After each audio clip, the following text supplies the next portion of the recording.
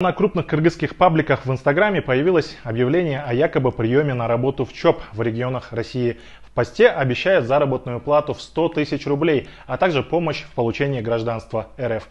Оказывается, прием на работу в ЧОП уже не актуален. Контакт сходу засыпает новыми предложениями. Добрый день. А, на данный момент э, набор на вакансию охранника в ЧОП временно приостановлен из-за обстоятельств сейчас актуально другое предложение. Я вам сейчас сброшу данные, почитайте, ознакомитесь. Если вам будет интересно, зададите вопросы. Позже «Контакт» начал нам отправлять заранее заготовленные сообщения. Предлагали 240 тысяч рублей в месяц, а график более 4 месяцев работы. О военной подготовке не спрашивали, берут даже людей с судимостью, лишь бы не граждане стран ЕС и НАТО. За службу более 6 месяцев предоставляет упрощенную форму получения гражданства РФ.